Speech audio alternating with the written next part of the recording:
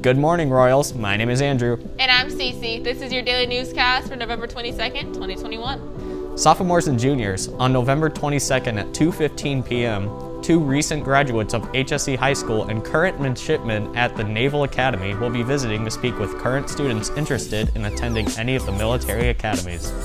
If you are interested, please email Lisa Bright or your counselor to sign up to attend this session. NHS is providing tutoring for all students during finals week. Tutors will be stationed in Cafe D during Pathways periods on December 15th through 17th from 8.30 to 10.30.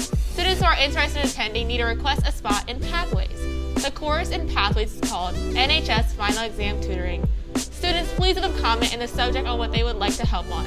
Thanks.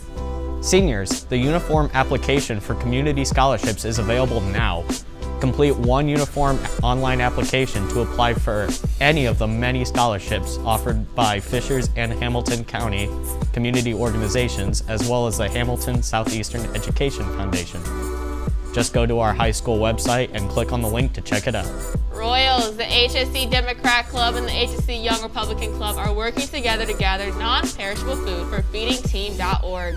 Please bring in as much food that you can in the collecting bins that'll be in the commons. Any girl interested in participating in track and field in the spring that is not currently in a winter sport should attend a meeting about winter training opportunities on Monday, November 22nd in the LGI from 3.10 to 3.30 p.m. Questions, see Coach Alano in B106 or email her. In national news for this morning, 18-year-old Kyle Rittenhouse has been declared not guilty on all charges Friday afternoon. Rittenhouse faced multiple charges for intentional homicide and reckless endangerment, with the former charge carrying a mandatory life sentence under Wisconsin law.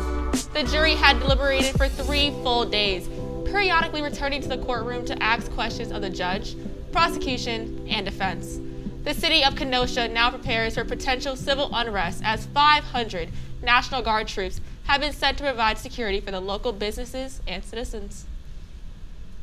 That's all we have for you today, Royals. Remember to give thanks to your family and friends over break. Have a great day.